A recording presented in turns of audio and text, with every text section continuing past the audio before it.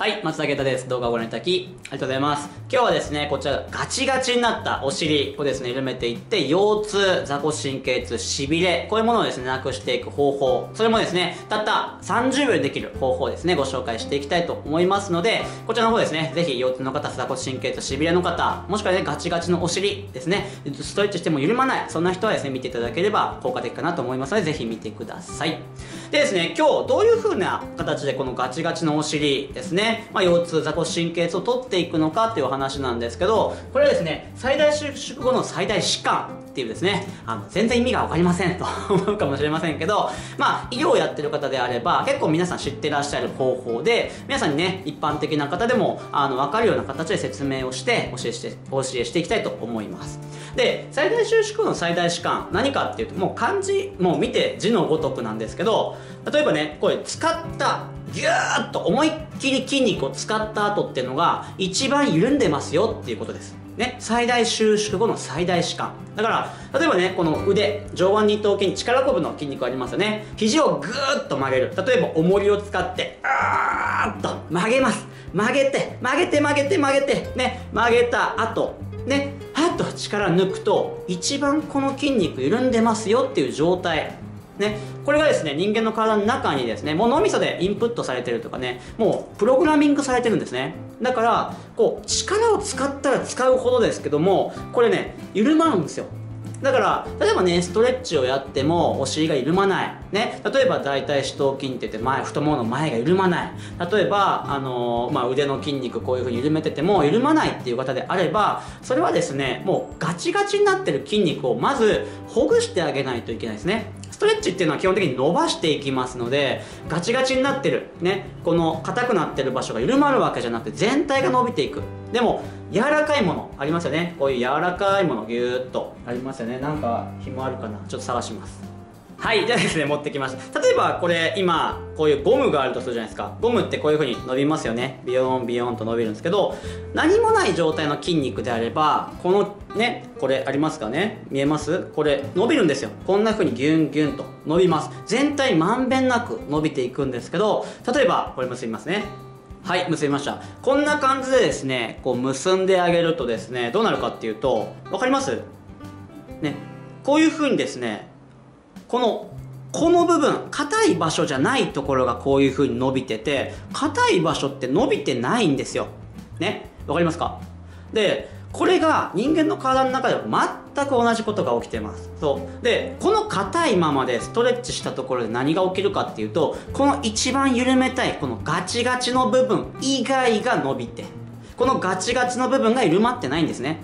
なのでこれはね人間の生理学的にここのガチガチの部分ねこの豆みたいなここの部分取ってあげないとどんだけストレッチしてもねこの緩めたい場所が伸びてないんですよ。だから何をしてあげるかっていうとこの筋肉をまず緩めてあげましょう。全部この豆がない状態にしてあげてねこれをパッと取ってこういう全体がストレッチできる状態にしてあげないとこのガチガチの部分ですね取れなくって結局腰痛の原因になったり座骨神経痛しびれの原因になってしまったりします。なのでこの最大収縮の最大弛緩っていうので筋肉全体を緩めていく。ですね。緩めていって全部が伸びれる状態。ですねこれを作っていく方法をね今日紹介しますのでこのままちょっとストレッチに入っていきますのでぜひ見てみてくださいじゃあ移動します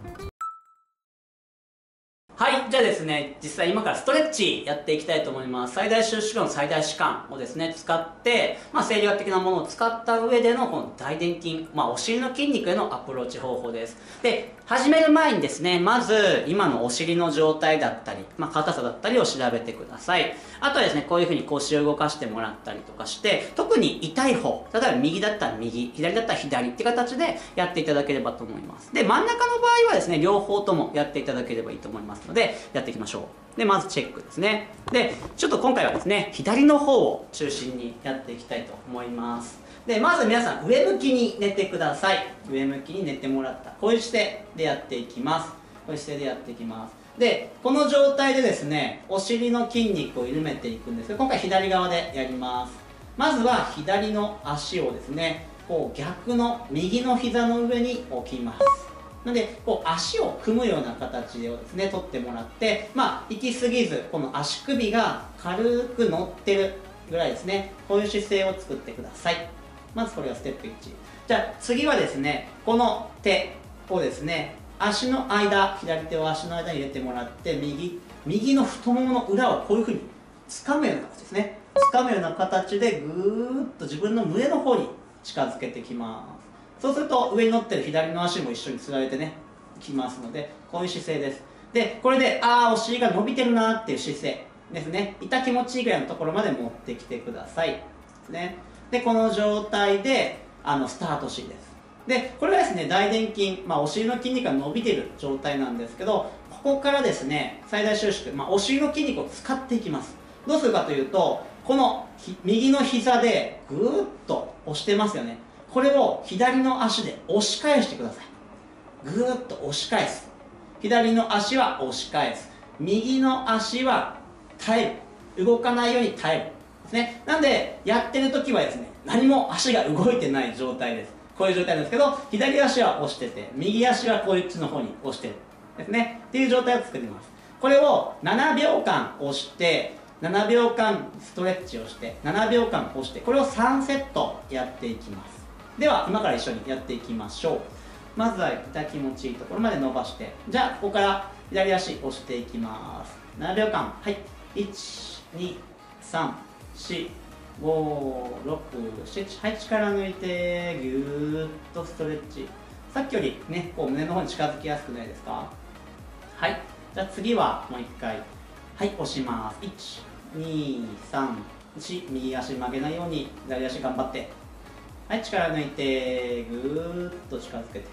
さっきよりこう近づいていくですね。はいじゃあもう一回押します。はいグッ1 234左足を押して右足頑張って耐えます。はい力抜いてじゃ深呼吸3回やりましょう。吐きながら近づけていきます。ストレッチをしていく。で吐きながらうーっと近づけていきます。リラックスしてくださいこの時は。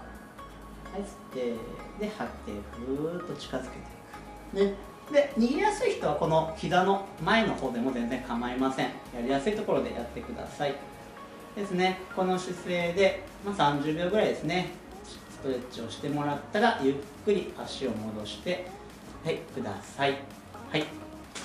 でね、でこれでですねもう一度立っていただいて、まあ、お尻の状態だったりを見ていただくと、まあ、右と左で、ね、やった方とやってない方で全然違いを感じるんじゃないかなと思います。あとはねこういう風に腰を倒してもらったりするとやった方にすごく行きやすくなったりとか、ね、腰の痛みが楽になったりあとはね言われる方はこう足の血が 血流というか血の流れがバーッと流れ出してましたとかね言われる方もいらっしゃいます。ね。でこれをですねあの1日3回程度ですねあのまあ朝昼晩分かりやすいのでやっていただいてもしね難しい人は朝晩とかでも構いません。で特にですねお風呂に入った後とかであると、まあ、全身緩みやすい状態ですのでそこでしっかりねやっていただければなと思います。